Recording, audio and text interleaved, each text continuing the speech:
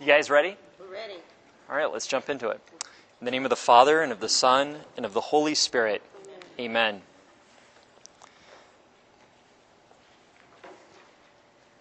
Know that the Lord works wonders for the faithful. The Lord hears when I call out. Tremble and do not sin. Upon your beds, ponder in silence. Offer fitting sacrifice and trust in the Lord. That's Psalm 4. Lord, we pray that this evening we would offer this scripture study to you with hearts full of love and praise for the gift of your word. I thank you so much for everything that you have revealed to us in these scriptures, especially for your covenant with King David. And I ask for your, your help this evening to understand this text. Lord Jesus Christ, be present now and let your Holy Spirit bow all hearts in love and truth today to hear your word and keep your way. Give us the grace to grasp your word that we may do what we have heard. Instruct us through the scriptures, Lord, as we draw near, O God adored. To God the Father and the Son and Holy Spirit, three in one. To you, O blessed Trinity, be praised throughout eternity. Amen. In the name of the Father, of the Son, and of the Holy Spirit. Amen. Let's turn to 1 Samuel chapter 9. Did you guys do your do your homework? Did you compare uh, those verses from 1 Samuel uh, with Luke? Did you see how Luke talks about Jesus as if he's a new Samuel? As Samuel grew in wisdom, you know, before God and men, uh, and in stature, so Jesus does the same thing. Uh, what was another parallel? The Magnificat with the The Magnificat. Hannah's Hannah's uh, has her Magnificat in 1 Samuel is chapter 2? And Mary's Magnificat mirrors Hannah. Hannah was given this miraculous child, this child miraculously, you know, by God's intervention. Again, we see God working through women who are barren and want to have children, uh, such as uh, Rebecca, who was barren for how many years? No, not eight, not eighty. No, no, Rebecca, not Sarah, but Rebecca. You have to go back and look. I'm not going to tell you. And then, but then Sarah was barren, and she hadn't had a child, and she had one at the age of 90, and that was, well, she had Ishmael before she had Isaac. Um, and then we have, um, we have Hannah. And so the, Luke is showing us by Mary's Magnificat that Jesus, that this is a miraculous birth, that this is not just like, you know, the inspired, you know, conception of Jesus or that he was just born just, you know, this is just, you know, he's, he's showing that the, the birth of Jesus is a miracle, that Mary truly conceived by the Holy Spirit and not by a man. And so the virgin birth is central, it's fundamental, it's foundational to what we believe as Christians. So we see Luke using Samuel as a backdrop as he teaches us in his gospel. And if we look at 1 Samuel chapter 9, verse 15, 1 Samuel chapter 9, 15, we read, The day before Saul's arrival, the Lord had given Samuel the revelation. At this time tomorrow I will send you a man from the land of Benjamin whom you are to anoint as commander of my people Israel. So, which of the 12 tribes is Saul from? Benjamin. So, is Saul a Jew?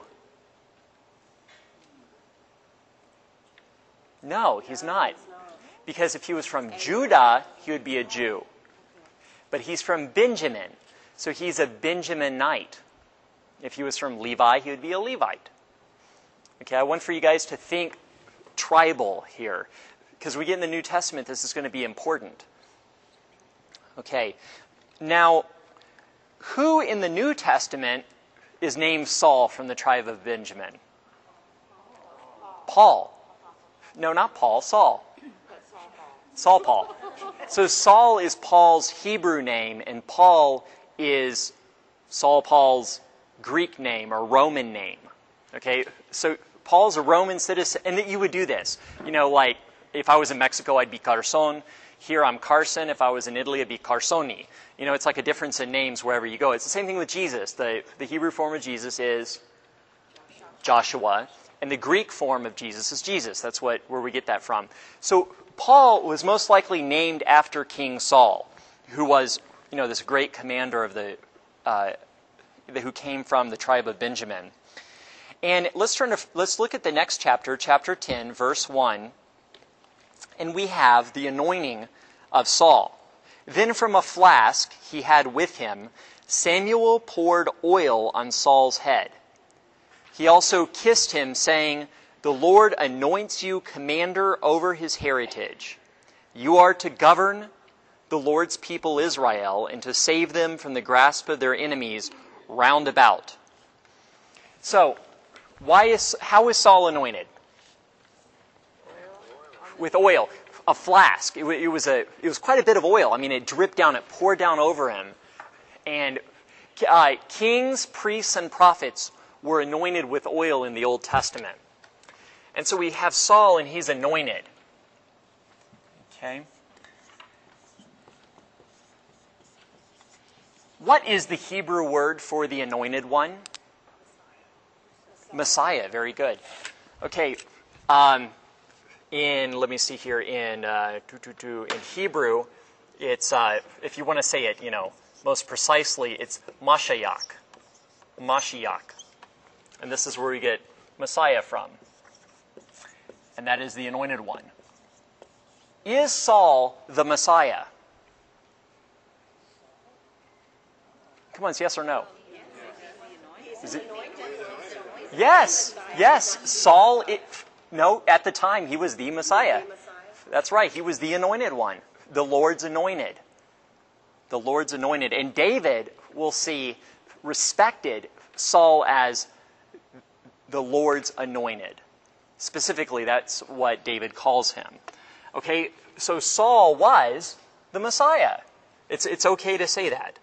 And what is the Greek word for the anointed one? Yes, Christos.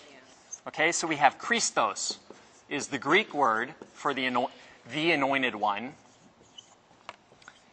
And that's where we get Christ from. So whether we say Christ or Messiah, we're saying the same thing, whether we use Greek or Hebrew, and we're saying the anointed one.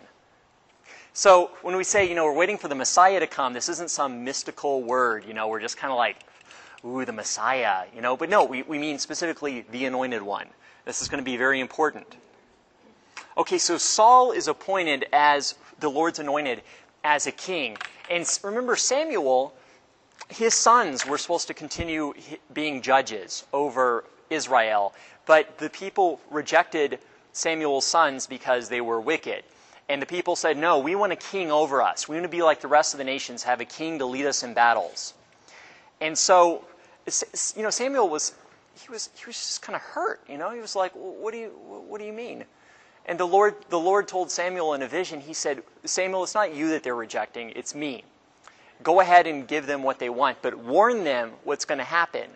They're, you know, that the king's going to take your daughters and your sons to be servants, and you're going to have to pay a double tithe, a tithe now to the Levites and a tithe to the king, et cetera, et cetera, et cetera.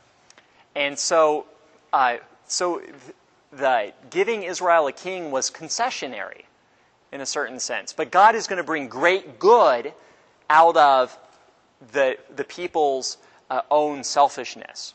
Again, we see providence at work, God taking everything into account according to his plan. God is working with the people, with their, with their weaknesses. And we should see this in the way that we, we govern others you know, governments. Uh, we, should, we should work with people's weaknesses and raise them up. Um, it's just a, a little aside, uh, something that the Greeks knew. Um, and so let's turn to 1 Samuel chapter 13. And we have Saul. You know, Saul's, Saul's made the king, and normally when you're made a king, that means that you know, divine right, the royal blood. Your sons are going to succeed you. But Saul loses the dynasty. He loses, he's going to continue as king, but his son will not reign after him because Samuel instructed Saul not to offer sacrifice, and that Samuel would offer the sacrifice at the appointed time. But in 1 Samuel chapter 13 verse 9, we hear that Saul said, "Bring me the holocaust and peace offerings."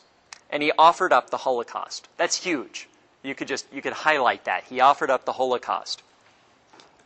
He had just finished this offering when Samuel arrived. Saul went out to greet him, and Samuel asked him, "What have you done?" Saul replied, When I saw that the men were slipping away from me, since you had not come by the specified time with the Philistines assembled at Michmash, I said to myself, Now the Philistines will come down against me at Gilgal, Gilgal, and I have not yet sought the Lord's blessing. So in my anxiety, I offered up the Holocaust.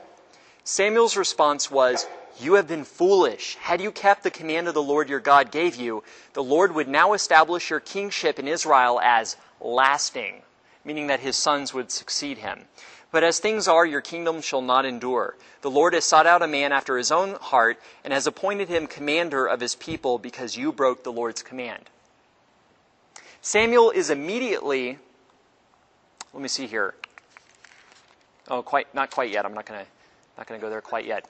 But so we get uh, King Saul is reproved, and so Saul loses the dynasty. So his heir will not succeed him. And then Saul loses the kingship after that. Not, not just his dynasty, but he, he's going to lose the throne. Because he did what? No. He lost a dynasty because he offered sacrifice, but now he's going to lose his very own kingship. He's going to lose the throne for himself. Now he's going to be, you know, before it was just his heir, you know, won't succeed him, but now he's going to lose the kingship because he did what? What was the second blunder Saul committed? Um, I'm sorry, go ahead. He didn't obey the Lord's command. And what was that command? He should put God first, but there's something specific. Something.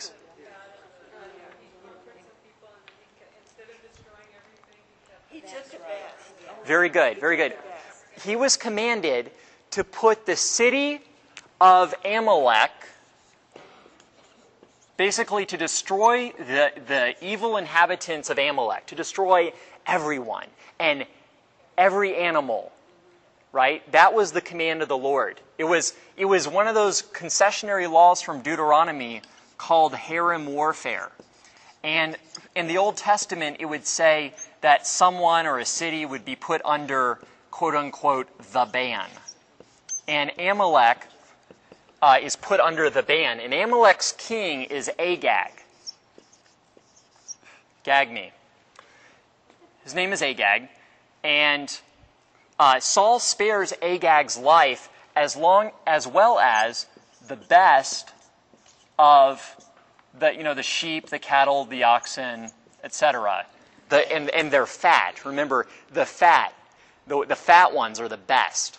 Remember why, why was why was uh, Cain's sacrifice not acceptable? Well, he didn't offer the he didn't offer the fat. It says. And so Saul uh, does not carry out the, the, uh, the Lord's command. And this is in 1 Samuel chapter 13. I'm sorry, uh, 1 Samuel chapter 15,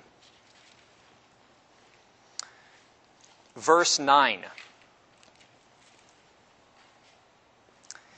Saul and his troops spared Agag and the best of the fat sheep and oxen and the lambs. They refused to carry out the doom on anything that was worthwhile, dooming only what was worthless and of no account. Then the Lord spoke to Samuel I regret having made Saul king, for he has turned me from me and has not kept my command. At this, Samuel grew angry and cried out to the Lord all night. I mean, wow, Samuel was he was pretty mad, you know, crying out to the Lord all night. Early in the morning, he went to meet Saul, but was informed that Saul had gone to Carmel where he erected a trophy in his own honor. and that on his return, he had passed on and gone down to Gilgal. When Samuel came to him, Saul greeted him. The Lord bless you! I have kept the command of the Lord. But Samuel asked, What then is the meaning of this bleating of sheep that comes to my ears? And the lowing of oxen that I hear? Sound effects included. Saul replied, They were brought from Amalek. The men spared the best sheep and oxen to sacrifice to the Lord your God, but we have carried out the ban on the rest. The ban. Samuel said to Saul, Stop! Let me tell you what the Lord said to me last night. Speak, he replied. Samuel then said, Though little in your own esteem, are you not the leader of the tribes of Israel? Okay, he just erected a trophy in his own honor. This is sarcasm. You know, though little in your own esteem, are you not the leader of the tribes of Israel? The Lord anointed you king of Israel and sent you on a mission, saying, Go and put the sinful Amalekites under a ban of destruction. Fight against them until you have exterminated them. Why then have you disobeyed the Lord? You have pounced on the spoil, thus displeasing the Lord. Saul answered Samuel, I did indeed obey the Lord and fulfill the mission on which the Lord sent me. I have brought back Agag, and I have destroyed Amalek under the ban. But from the spoil, the men took sheep and oxen, the best of what had been banned to sacrifice to the Lord their God in Gilgal. You know, Saul is still unrepentant. He's like, I, but I still did it. I, I just, spirit, come on. It's, but Samuel said, Does the Lord so delight in holocausts and sacrifices as in obedience to the command of the Lord? Obedience is better than sacrifice, and submission than the fat of rams. For a sin like divination is rebellion, and we'll see that Saul will commit the sin of divination later on. This is kind of like a, a prophetic foretelling of what Saul's going to do. And presumption is the crime of idolatry. Because you have rejected the command of the Lord, he too has rejected you as a ruler. So, so Saul's I mean, you know, Saul's curriculum vitae is, is just going downhill. You know, it's, it's not going well for him. So Saul ends up being rejected by the Lord. And in verse 16, Samuel is sent straight to where? I'm sorry, in, in chapter 16. Where is Samuel sent straight to? Bethlehem. Bethlehem. Now, why is Bethlehem famous in the time of Jesus? It's the city of David. It's David's birthplace, right? Well, here's its first uh, mention here in the Bible. And why is Samuel sent there? To find David. God wants to bring the man after God's own heart, and he wants to anoint him.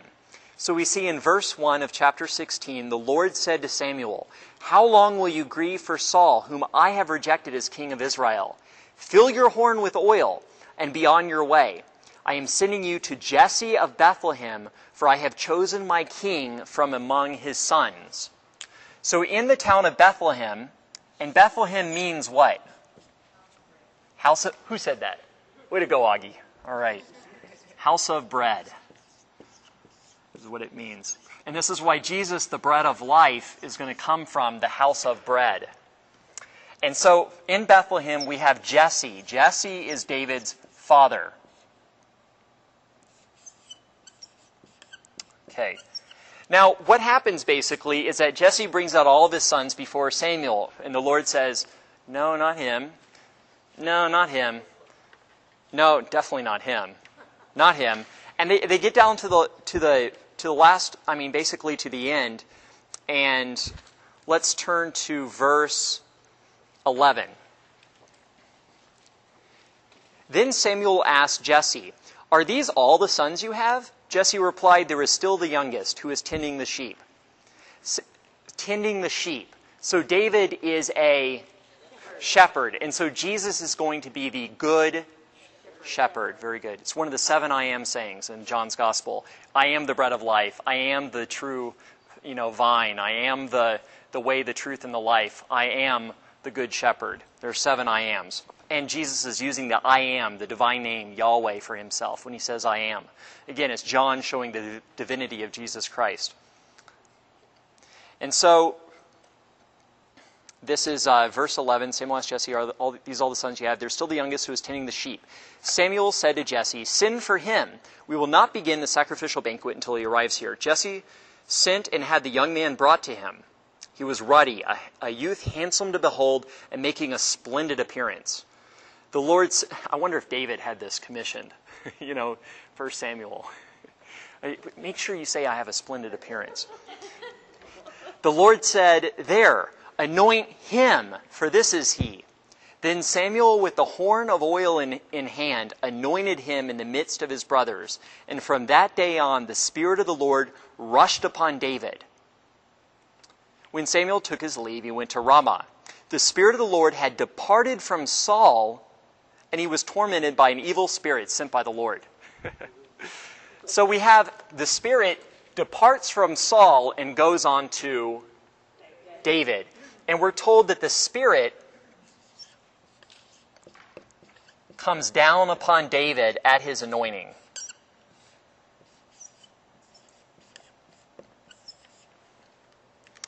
Who is David anointed by? Samuel. Samuel, we're told in the Old Testament, in 1 Samuel, that he took a Nazarite vow. And the Nazarites would not cut their hair. They took a vow before the Lord, and they, wouldn't, and they would not cut their hair. They let it grow. Who is another famous person in the Old Testament who took a Nazarite vow? His power came in his hair. Samson. All right, Samson. Very good. So we have Samson and Samuel. Samuel was had taken a Nazarite vow, you know, so he didn't drink wine at all, or any or any or grapes or raisins even. You know, this is part of the Nazarite vow.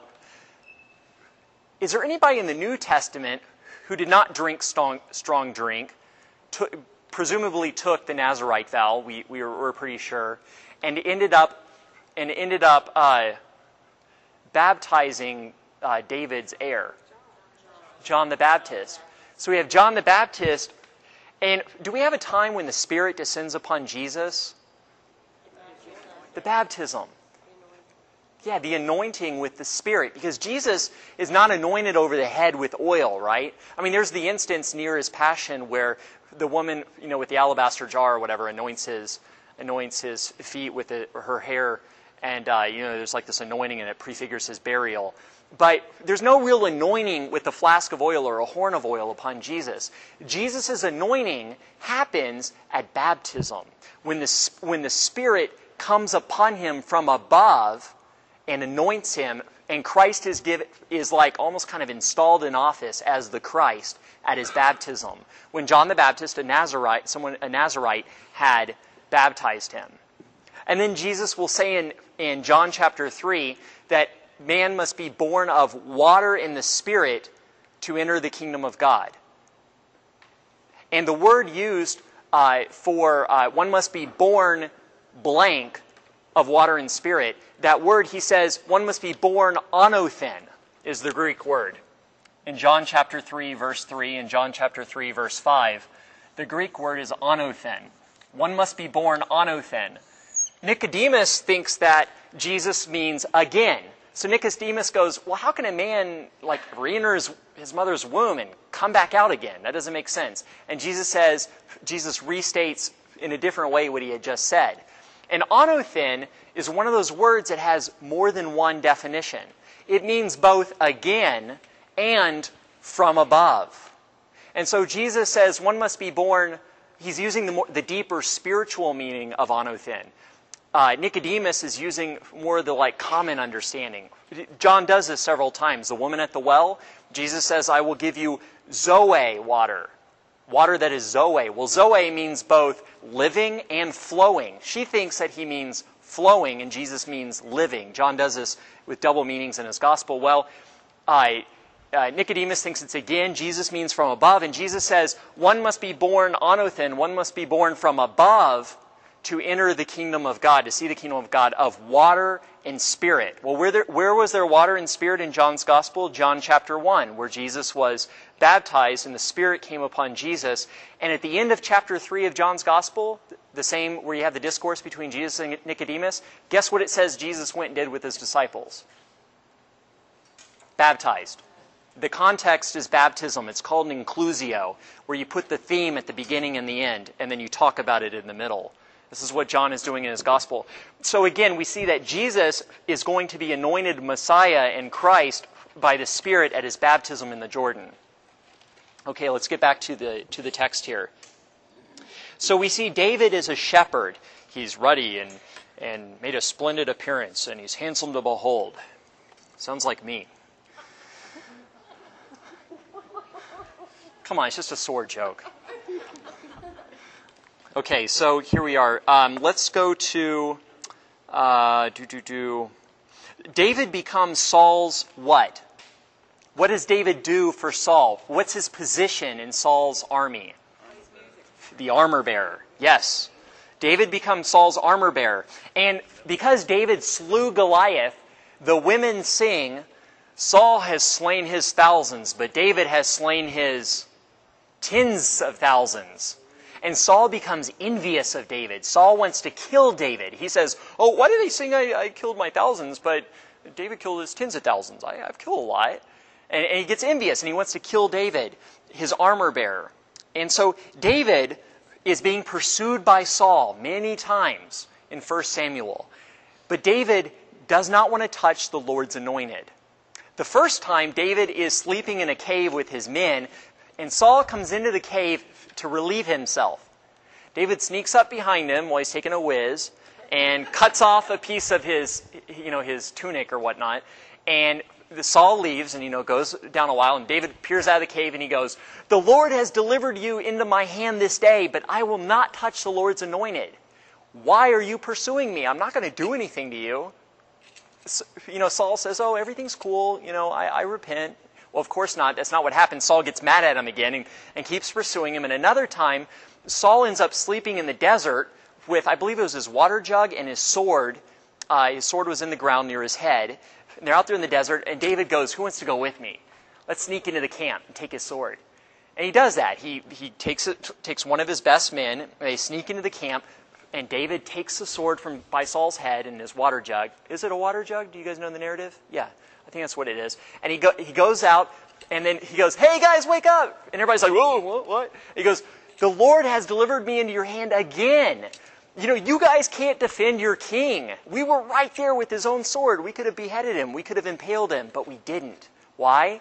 Because he's the Lord's anointed. We're not going to touch him.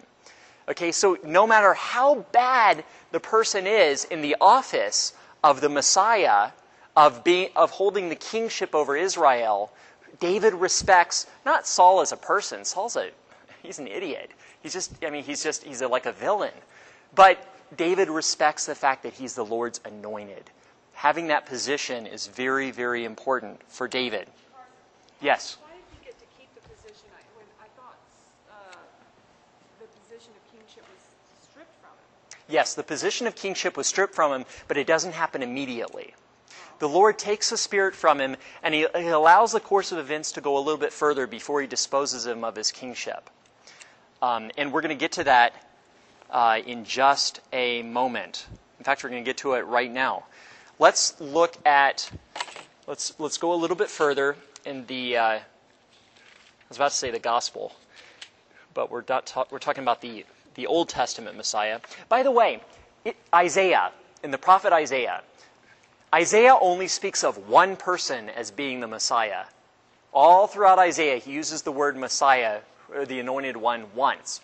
Who does he use it in reference to? The prophet Isaiah. No, it's not Jesus. Who does Isaiah call the anointed one? The Persian king Cyrus. In all of Isaiah, a little bit of tidbit of trivia there for you. You guys will, you guys will be going all through Isaiah tonight going, no, no, no, I know it, it says somewhere. Okay. Yes.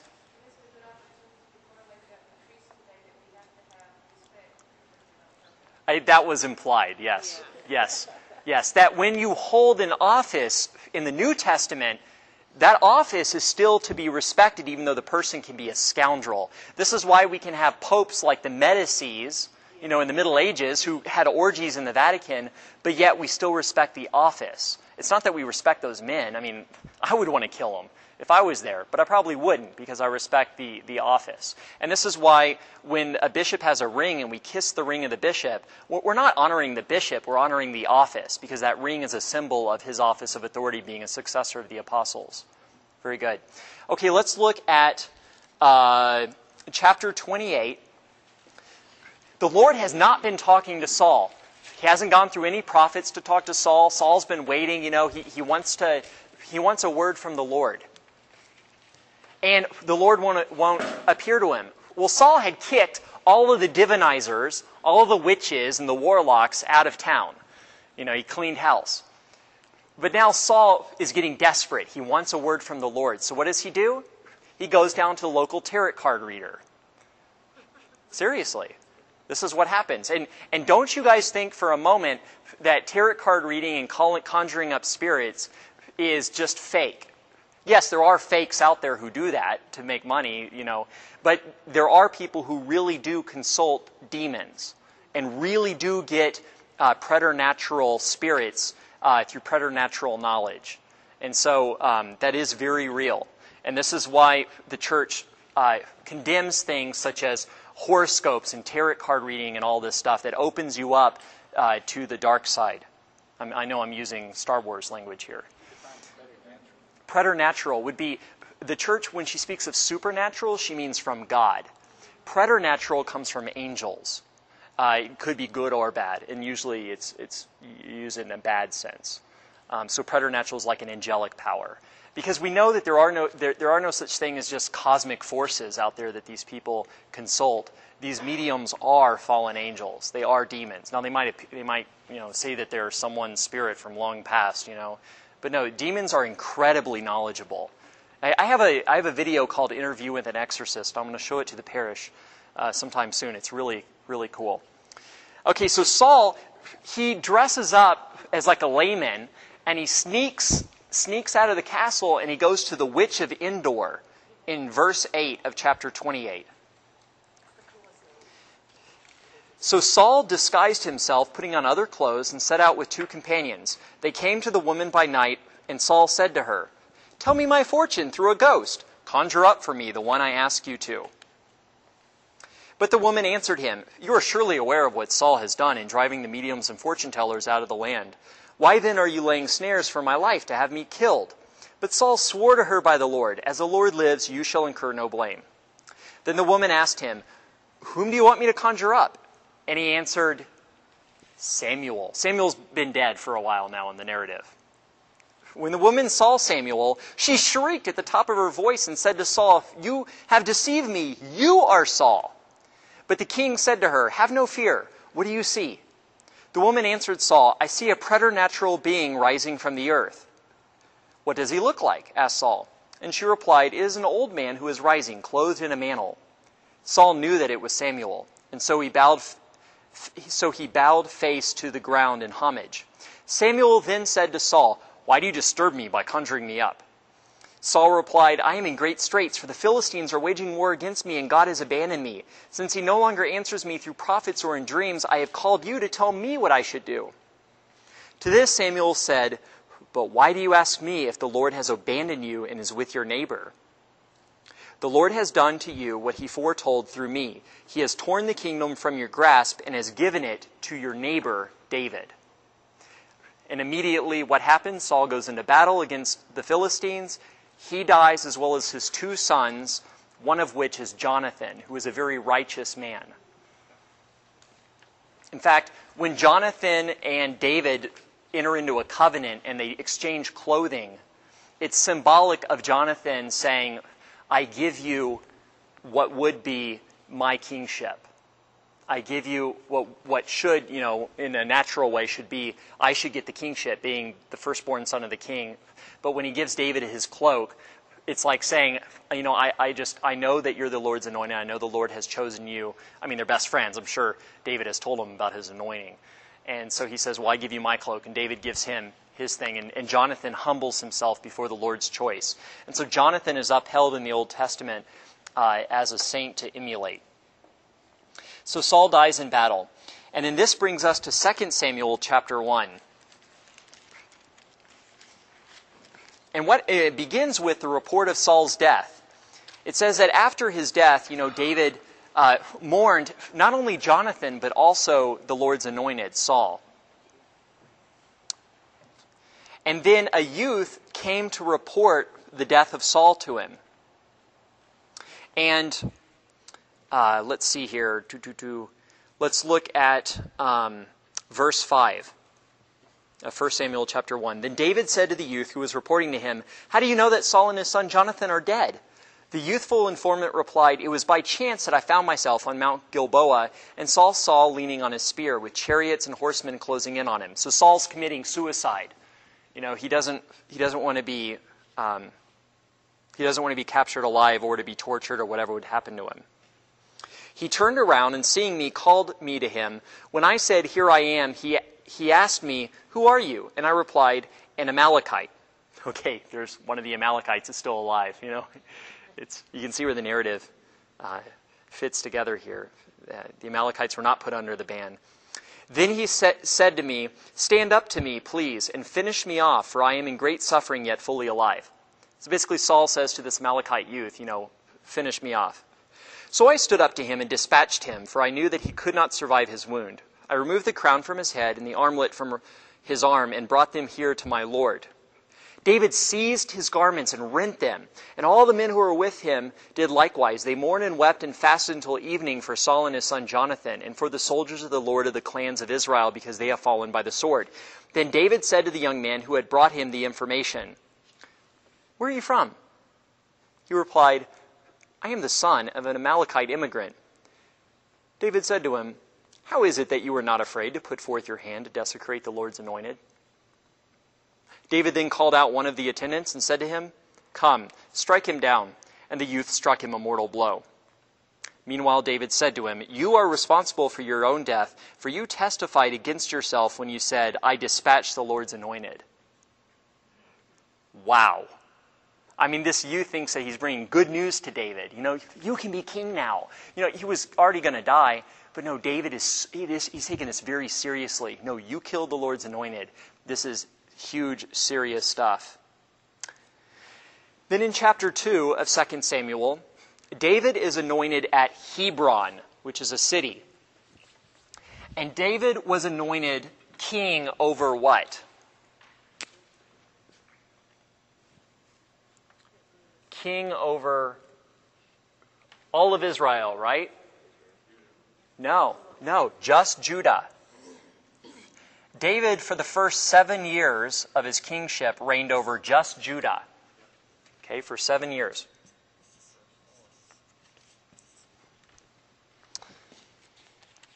And let's turn to chapter 5, verse 1. Some time has passed, and we read All the tribes of Israel came to David in Hebron. All the tribes. Here we are, your bone and your flesh. This is covenant language. Here we are, your bone and your flesh. In days past, when Saul was our king, it was you who led the Israelites out and brought them back. In other words, you were successful. We didn't die on the battlefield. You brought us back. And the Lord said to you, You shall shepherd my people Israel, and shall be commander of Israel. When all the elders of Israel came to David in Hebron, King David made a covenant with them there before the Lord, and they anointed him king of Israel. David was 30 years old when he became king, and he reigned for 40 years until he was 70. Seven years and six months in Hebron over Judah, and 33 years in Jerusalem over all Israel and Judah. Okay? So he reigns over Judah for seven years and six months and then he reigns over all 12 tribes for 33 years. And the first seven years are in Hebron. And where are the last 33 years? In Jerusalem. And Jerusalem, before it was Jerusalem, what was it known as? We're told in like the next couple of verses. Jerusalem was known as Zion. It was a Jebusite stronghold. Okay? The Jebusites. You know, and the Jebusites are mocking the, the Israelites. They're saying, you know, the, the, uh, what, what do they say? They say, uh, our blind and our lame can, can take you guys. You're, you're pathetic. But how does, how does David's men take this Jebusite stronghold of Zion? Who's read their Old Testament? They went up a water shaft. And that's how they got into the city without having to go over the walls. They went through a water shaft. They take the city of Zion, and David makes Jerusalem his capital. And what's really interesting is that Jerusalem is not really in one of the 12 tribes of Israel. It's kind of it's kind of right on the border of Benjamin and Judah. And so it's kind of like neutral territory, sort of. It's kind of like when our, when our founders wanted to found a capital, they didn't want to choose one state because they didn't want to uh, make one state seem more important than another, so they came up with the District of Columbia, D.C. I think the book uses this analogy, doesn't it? Yes. Okay, good. Okay, now we're going to get into some really cool stuff. Okay, you guys ready? I've been, I've been waiting for this. All right. Who builds David's palace? No, David's palace. Not the temple, but David's own castle. Hiram, the king of Tyre, a Gentile, not an Israelite. And it's made with, you know, the cedars of Lebanon. You guys know, if you've ever, if you sing or read the Psalms a lot, the cedars of Lebanon are a big deal. I guess it was some really prime real estate, you know. It was like singing about, you know, lakeside property at Somerville or something, you know. It's, it's, uh, Okay, let's look at 2 Samuel chapter 6. Did I give you this as homework to read? No, I didn't. Okay, 2 Samuel chapter 6. I'm going to go ahead and erase some of this stuff up here on this board. It's in the book homework. Okay, let's let's look at uh, what had happened. Is that when Saul was killed, remember the Philistines won. The Israelites were not led back from battle; they died, and the ark was captured. So the ark has been in with the Philistines this whole time. But now David says, "We got to get the ark back. Great kingdom, but the Lord's ark." D- chapter six. David again assembled all the picked men of Israel, thirty thousand in number. Then David and all the people who were with him set out for Baal Judah to bring up from there the ark of God. Now, my New American Bible is kind of dynamic, so it doesn't say what most translations say, uh, which is that David and, and those who were with him arose and went. And in the Greek version of the Old Testament, these were particular words that meant arose and mint. Eh, I'm sorry, arose and mint. Uh, arose and chocolate. No, arose and went. And they set out to Baal Judah, which wasn't like you know you had uh, anyway. So this is a this is a town in Judah, and Judah was kind of hilly, so it was in the in the hill country. And then we see in verse we, we see that when, the, when they got the ark and they were bringing the ark back, someone, Uzzah, had, you know, he thought the ark was going to fall, so he, he, like touches it to, to you know, to kind of, you know, to keep it so it from falling. And Uzzah is struck dead on the spot because the ark of the Lord is not to be touched. It was carried with poles. It wasn't carried, you know, like this. It was carried with poles because you weren't to touch it. So he dies. And David gets kind of fearful. And he says in verse 9 David feared the Lord that day and said, How can the ark of the Lord come to me? Okay? How can the ark of the Lord come to me?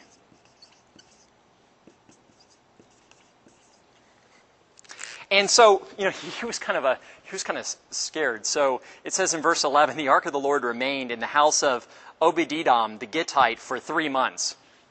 And the Lord blessed Obed-Edom and his whole house. So David's kind of like, okay, everybody, someone just died. We're going to leave the ark here for three months, and we'll be we'll be back to get it. But let's just, you know, this is getting kind of this is becoming a mortal a mortal affair. So the ark spends three months in the house of Obed-Edom, uh, the Gittite, in his house. Uh, and then, and then finally, when uh, verse 12, when it was reported to King David that the Lord had blessed the family of Obed-Edom and all that belonged to him, David went to bring up the ark of God from the house of Obed-Edom into the city of David amid the festivities. As soon as the bearers of the ark of the Lord had advanced six steps, he sacrificed an ox and a fatling. Then David, girt with a linen apron, came dancing before the Lord with abandon, as he and all the Israelites were bringing up the ark of the Lord with shouts of joy and to the sound of the horn. And the ark of the Lord was entering the city of David. Saul's daughter Michal looked down through the window and saw King David leaping and dancing before the Lord, and she despised him in her heart. So David, we're told, and remember, in the Greek Old Testament, specific Greek words are being used. David leapt, leaped, Okay, let's turn to Luke chapter 1. Go ahead and put your finger there, you know, keep, keep that keep that chapter. Now, remember how Luke is using 1 Samuel to talk about Jesus? Well, he uses it to talk about Mary as well. Shh, shh. You're, getting, you're taking my you're taking my air out of my out of my tires. Now remember, 1st and 2nd Samuel is one work. They're not two separate works. Luke 1. Luke chapter 1. Luke chapter 1. Verse 39.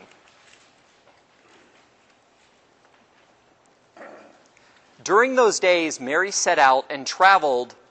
When it says Mary set out, it says literally, uses the same Greek words. Mary arose and went. To where? Where did she go? To the hill country in haste to a town of Judah, like Baal Judah. It's in the same, the same area, if you know your geography of the, of the Holy Land.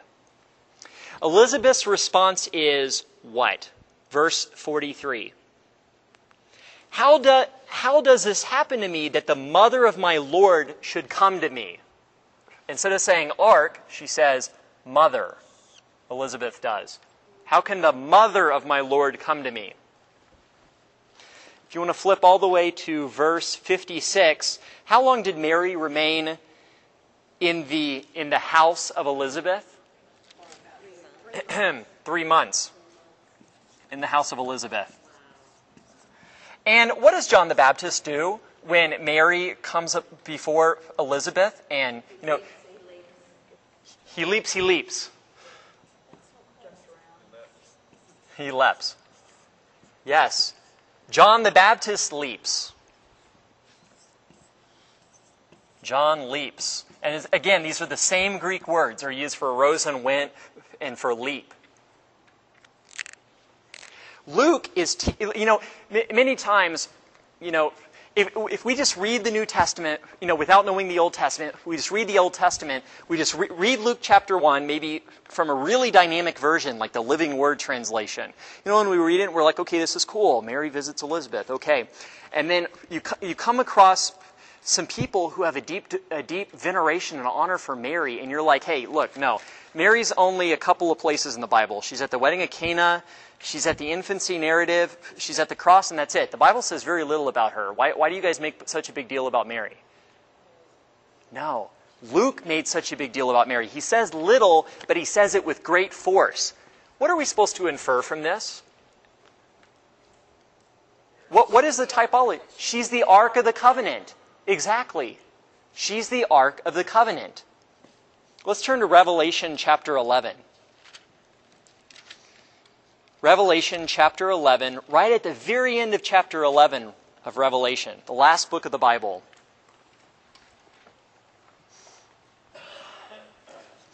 The ark of the Lord had been, had been disappeared for six centuries. The ark of the Lord was nowhere to be found. Six centuries, we're told. There's a tradition that Jeremiah had hid it when Jerusalem was going to be sacked by the Babylonians. And at the end, now, I'm sorry, at, yeah, at the end of Revelation 11, remember there were no original chapter verses. I mean, chapter divisions. Chapter divisions were, in, were, were uh, given to the Bible by the Catholic Bishop of Canterbury. uh, uh, Stephen Langton, Archbishop Stephen Langton. And later on, Robert Estienne, uh, a Parisian printer uh, in Paris, would, in, would insert verses into the Bible. But so there was no chapter division here. And we're told in verse 19 of chapter 11 Then God's temple in heaven was opened, and the ark of his covenant could be seen in the temple. There were flashes of lightning, rumblings, and peals of thunder, an earthquake, and a violent hailstorm. The Ark of the Covenant, guys, gone for six centuries. It's back. We found it. A great sign appeared in the sky a woman clothed with the sun, with the moon under her feet, and on her head a crown of 12 stars. She was with child and wailed aloud in pain, and she labored to give birth. If you continue to read the narrative, there's no more mention of the ark.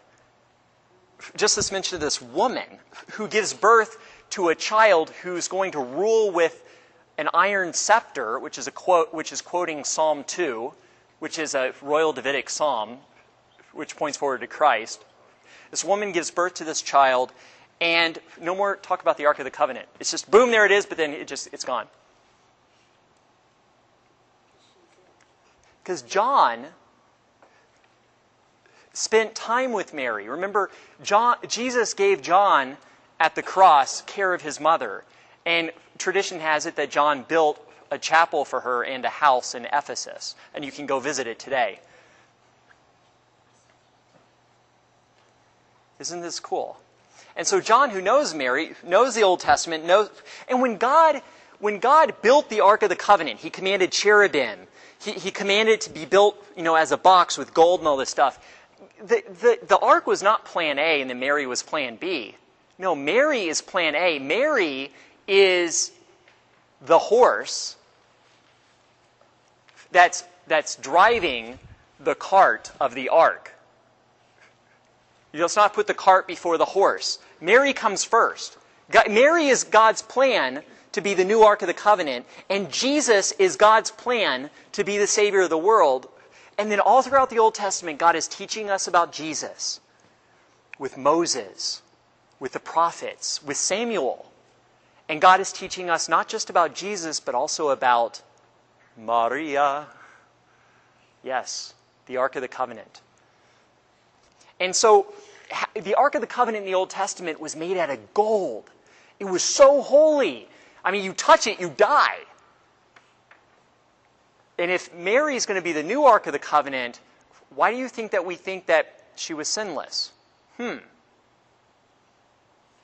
It's, it's not something that we created in the Middle Ages. This, is, this goes all the way back to the first century. This is, Luke is telling us this in his gospel. We have Mary, the Ark of the Covenant, Jesus, the new Samuel. We have typology being used here, and it gets better all the way throughout Luke's gospel. Oh, the typology is amazing. Let's look at Luke 135. Luke chapter 1, verse 35.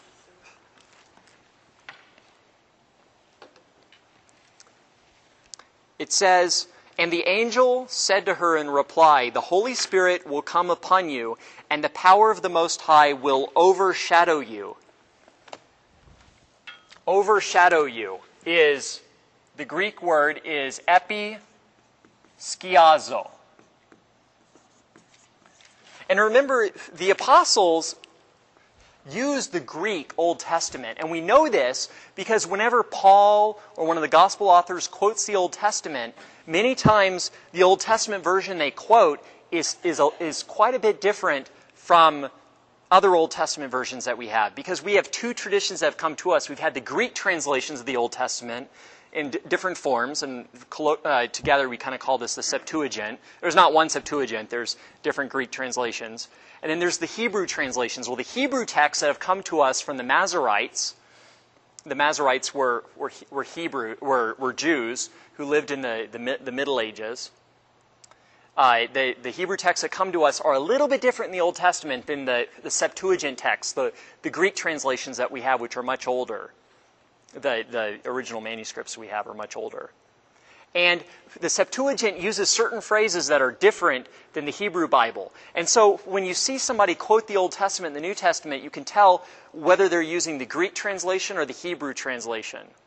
And many times in your footnotes, you might see uh, you know, for that particular quotation from the Old Testament, you might see LXX in your footnotes. That LXX is the Roman numeral for 70, for the Septuagint. Septuagint is a Greek word meaning 70. This is what it was known as, the 70. Because the tradition has it that 70 translators translated in Alexandria for the, Jew, the Greek speaking Jews in Alexandria. And so we know that the people who wrote the New Testament used the Greek Old Testament, not the Hebrew Old Testament. And in the Greek Old Testament, you have these words that match up. Okay? This is why this is important because you, well, people would say, well, no, the, the, the Old Testament was written in Hebrew. How can you be matching up Greek? Well, no, no, no. You had Greek translations in the time of the New Testament. Okay, so episkiazo. Is that the Alexandrian? This is yes. We're the Greek Old Testament is the Alexandrian uh, Septuagint, the Greek Old Testament. Right, like G- Jesus used the Septuagint. This is the Old Testament translation he used.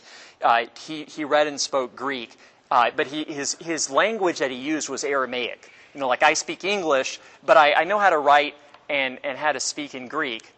And I mean, I'm sorry, no, I don't.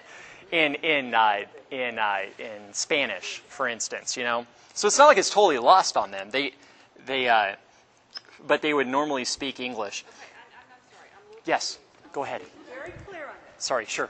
Okay, you're saying that the original Gospels or all this Bible, New Testament, were written in Greek.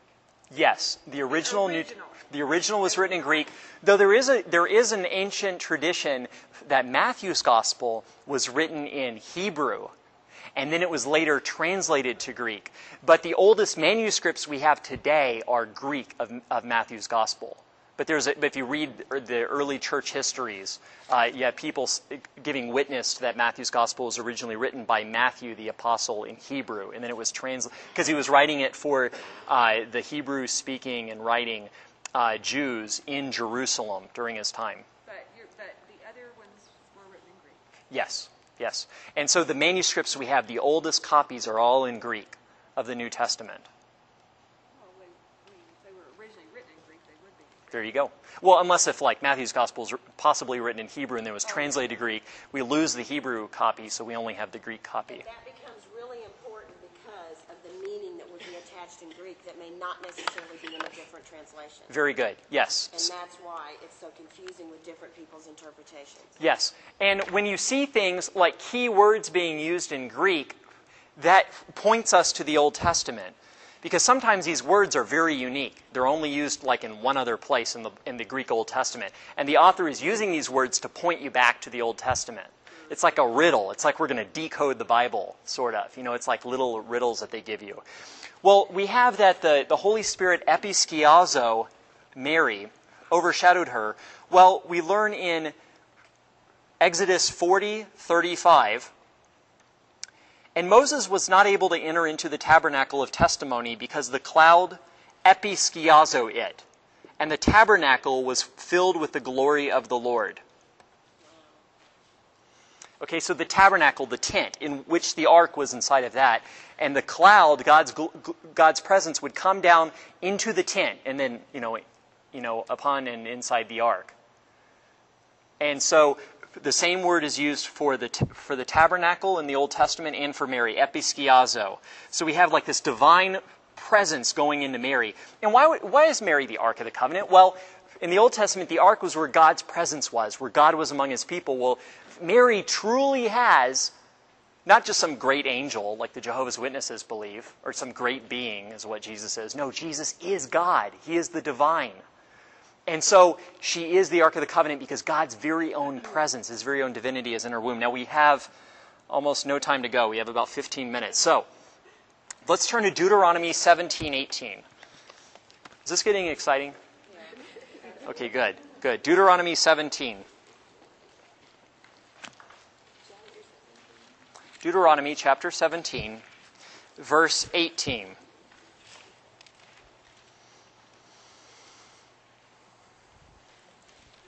Deuteronomy chapter 17, verse 18. Are you guys getting better at flipping through the Bible? Is it coming more naturally to you? Good. Good.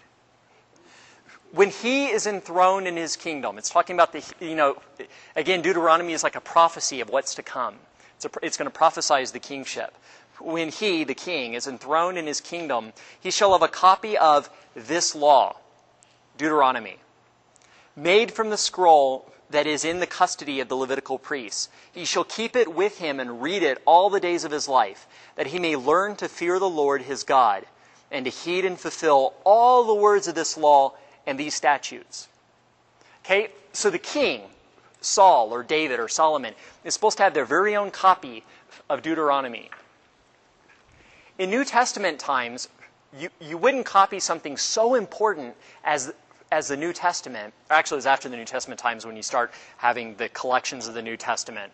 Uh, you, you wouldn't copy this upon papyrus because papyrus, you know, you know, it wilted, it went away. It was like the really cheap uh, copy machine paper from Walmart. No, you'd go to Office Max and you get the card stock, you know, when you wanted to write, you know, sacred scripture on. And so the early Christians didn't copy onto papyrus, they copied onto vellum. Okay, well, this became the practice. At first, they started with papyrus, and then later on, they would move to using vellum. Vellum is the skin of like sheep or goats or cattle. Guess how many sheep it took uh, for a Christian monk uh, to create a Bible, Old Testament, New Testament? How many sheep did it take? A bunch. 9,000. Guess what? The Catholic Church in the Middle Ages, before Gutenberg invented his press, chained down the Bible. They did. Because they were expensive. I mean, yeah, so no one would take it. You go to the universities and the books are chained down. Old and New Testament. I mean, this would be like your house. Would you guys be willing to sell your house and go live in a tent, you know, in your in someone's backyard to just have a copy of the Bible? This is how this is how expensive it was. So for the so it wasn't like every every Israelite had a copy of Deuteronomy to read from, you know? I mean, the king has to get a special copy made for him. You know, and this is this is pretty cool. You get your own Bible made for you. Well, not Bible, but the copy of the law, Deuteronomy. And so Deuteronomy is the king is to read it, and he's supposed to, you know, uh, he's supposed to heed the law. So we would know that David, being a man after God's own heart, would have Deuteronomy and he would be reading Deuter- Deuteronomy and he would be knowing what Deuteronomy has to say. Well, let's turn back to Deuteronomy 12, verse 10.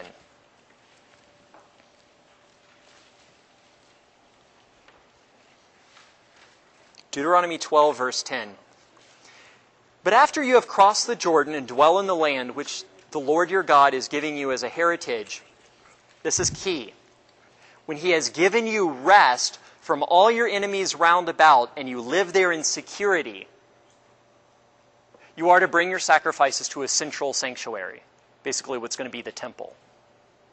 This hasn't happened yet. Israel has taken the land, but they've been having all these enemies. In fact, David had to still conquer the Jebusite stronghold of Zion to get, to get his capital city, Jerusalem. But let's turn to 2 Samuel uh, chapter 7 and we'll see that this key verse from Deuteronomy 12:10 is evoked in 2 Samuel chapter 7. 2 Samuel chapter 7 verse 1. When King David was settled in his palace and the Lord had given him rest from his enemies on every side. There's Deuteronomy 12 right there being quoted okay, guys, it's time for the central sanctuary. It's time for the temple, just as the law says. The king should know this. He has his own copy of Deuteronomy. 2 Samuel chapter 7 verse 1. He said to Nathan the prophet. Okay, so we have Nathan as the prophet now. Before you had like Samuel, now you have Nathan.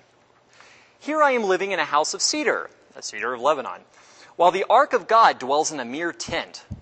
David, Nathan answered the king, Go do whatever you have in mind, for the Lord is with you. But that night the Lord spoke to Nathan and said, Go tell my servant David, Thus says the Lord, Should you build me a house to dwell in? I have not dwelled in a house from the day on which I led the Israelites out of Egypt to the present, but I have been going about in a tent under cloth. In all my wanderings everywhere among the Israelites, did I ever utter a word to any one of the judges whom I charged to tend my people Israel, to ask, why have you not built me a house of cedar? Now then, Now, God's speaking to Nathan this whole time. He's saying, you know, now then, speak thus to my servant David. Verse 8. The Lord of hosts has this to say It was I who took you from the pasture and from the care of the flock to be commander of my people Israel. I have been with you wherever you went, and I have destroyed all your enemies before you. And I will make you famous. No, that's what my New American Bible says, but it's not famous. In the Hebrew is, I will make your name great. I will make your Shem great.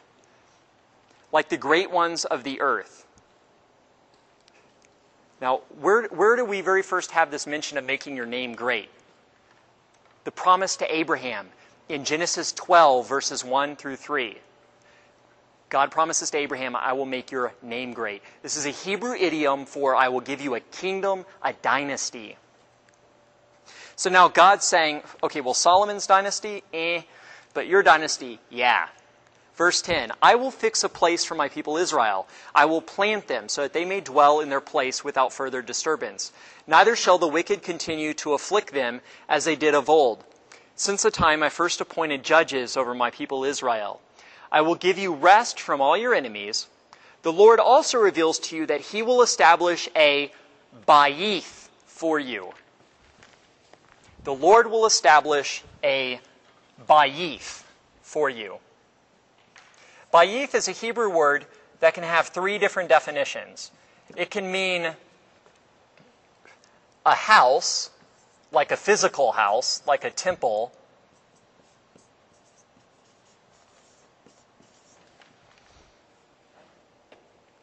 It can also mean a family, you know, like the House of Weber, you know, Carson Weber, me. The House of Weber. So it can mean a family. By the way, I love answering the phone, you know. The Weber dynasty. oh, you'd like the Queen. Well, I need an heir to succeed me, so. Uh, the third point is that it can be a dynasty. In this instance, God means dynasty. I will make a house for you, you know, like the house of Habsburg or the house of Bourbon. Verse 12 And when your time comes, and you rest with your ancestors, I will raise up your heir after you, sprung from your loins, and I will make his kingdom firm. It is he who shall build a bayith for my name. Okay, so Solomon's going to build a bayith, a temple. So there's a word play here. He will build a house for me, and I will make his royal th- throne firm forever. Okay, so his throne will be firm forever. I will be a father to him, and he, sh- he will be a son to me. So there's going to be some sort of God's fatherhood, and the king's going to be considered God's own son. And if he does wrong, I will correct him with the rod of men and with human chastisements. But I will not withdraw my favor from him as I withdrew it from your predecessor Saul, whom I removed from my presence. Your house and your kingdom shall endure forever before me. Your throne shall stand firm forever. Nathan reported all these words in this entire vision to David. So the Lord basically says no matter what kinds of sins you know, your successors commit, you know, I will correct them with the rod of chastisement, but the dynasty will remain. It will remain. This is, this is sure. This is steadfast. You know, Saul, you know, with your predecessor, he sinned and I took away his dynasty, but not so with your descendants. This dynasty will continue. And yes, your son, Solomon, he doesn't say Solomon, but this will be Solomon. Solomon will build a house for me. He will build the temple. So Solomon's going to be the temple builder. But, and basically, so remember back in Genesis, we had three chapters where God made three covenants with Abraham. What were those chapters? In Genesis. We had Genesis 15, 17, and 22. The covenant in 15 is fulfilled in Moses, right? And the Mosaic covenant. What covenant is going to be fulfilled? This, this covenant in Genesis 17, where is that going to be fulfilled? Sarah is told that kings will come from her. In David, the Davidic covenant. So we're seeing, right now, we're seeing this covenant in Genesis 17 being fulfilled through David and through David's son Solomon. And when will the covenant in, in Genesis 22 be fulfilled? Through who? Jesus. Right. And he's prefigured, his sacrifice is prefigured by Isaac kind of obediently uh, obeying his father Abraham, and Isaac is bound. Okay, so this is going to be fulfilled in Jesus. So we have Genesis, we've gone through Moses, and now we're into David. And we have, this is called the Davidic covenant. We have the Mosaic covenant, and now we have the Davidic covenant.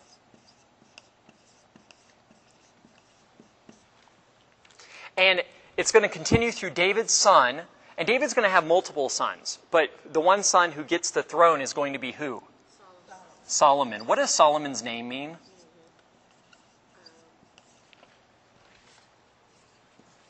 It comes from the Hebrew word shalom, peace. He's, in a certain sense, a prince of peace. Hmm. hmm. Verse 18 Then King David went in and sat before the Lord and said, Who am I, Lord God? And who are the members of my house that you have brought me to this point? Yet even this you see as too little, Lord God. You have also spoken of the house of your servant for a long time to come, and this too is a Torah Adam. This too is a Torah Adam. Now we know our Hebrew now, right? As we've been studying it. What does Torah mean? Law. And what does Adam mean? Man, or mankind, or humankind. So this is a law for mankind. This isn't just for Israel, like the Mosaic covenant was for Israel, to separate Israel from all the nations. But no, the Davidic covenant is going to be a law for all mankind. It's, it's going to incorporate all nations. The temple is now going to have the court of the Gentiles, where the Gentiles are to come and worship at the court. We're going to have kings and queens from all over bringing tribute to Solomon. Why does Solomon have so many wives? These are political engagements. You know, you would marry somebody's daughter so that, you know, this, this is, these were political alliances that Solomon would enter into with other nations. So the Davidic covenant starts to become international, inclusive of other nations, of the Gentiles.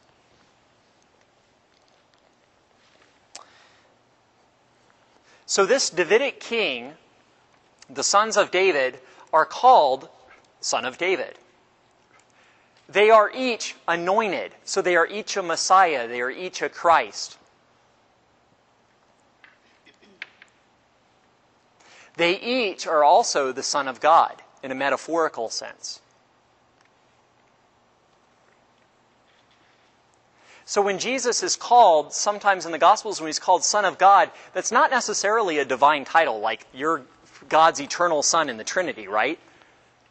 No, it was a confession of kingship that he was this son, of, this son of David. He held the kingship, and so he had this relationship with God. Now, I'm not, I'm not denying, you know, the divinity of Christ. Of course not. I've been supporting it the whole time. Yes, Christ is eternally the Son of God. But in the New Testament, Son of God did not necessarily, it was not necessarily a divine title. It was more of a title of kingship.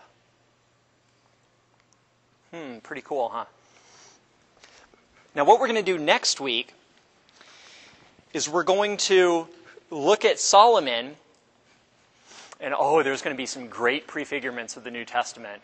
And some things are really going to come alive. You're really going to see some things that are just going to, you, you know, it, it's kind of like this class is kind of like taking a huge vacuum and sucking all the fog out of the room to where the New Testament will become clearer.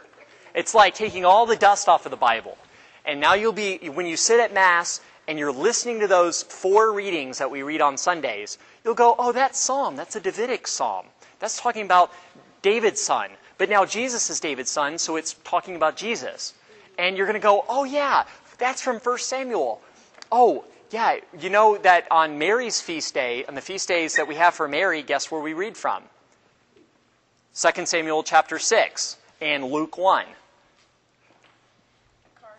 Yes, Margie. Before we go today, um, there was something that um, I wanted you to share with them that we learned at the last year's Bible study that is so cool, and I'm afraid we'll get off the ark and not get back to it again. Sure. Remember when they made the comparison between the contents of the first ark and then Mary? We'll still get there. We'll still get there? Okay. We'll get there in the New, in the. New That's all it Testament. But we can go ahead and give it tonight. There's, there's no reason to wait. We're told in the book of Hebrews that the Ark of the Covenant contained three things. And this will just take a moment. You don't have to, you don't have to, to leave. It contained three things. The first thing was a jar of manna that was incorrupt from the Israelites wandering in the wilderness. The second thing were the Decalogue, the Ten Commandments. And the third thing that the book of Hebrews tells us was in the ark is the rod or the staff of Aaron, which blossomed. The staff of Aaron is a symbol of Jesus, our high priest, because Aaron was the high priest of Israel. The Ten Commandments are the, the ten, the Decalogue, which are literally the ten words. A decade is ten years. Well, a decalogue is ten words.